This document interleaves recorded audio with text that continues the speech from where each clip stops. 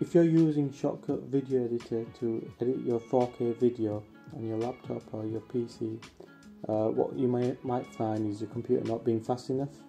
Um, in my case, if I play this in my preview,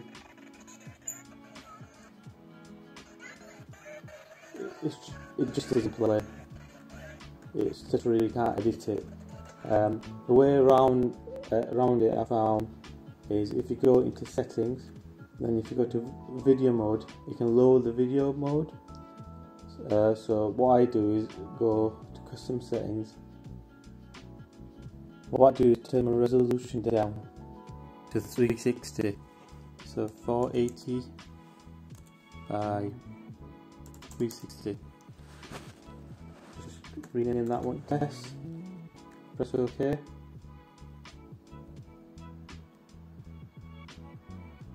When you play it back, at least you can edit it.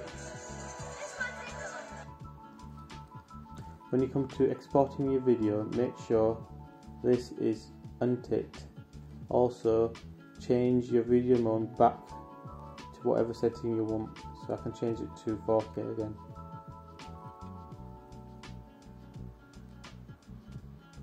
So now I've changed it back, all I do is export.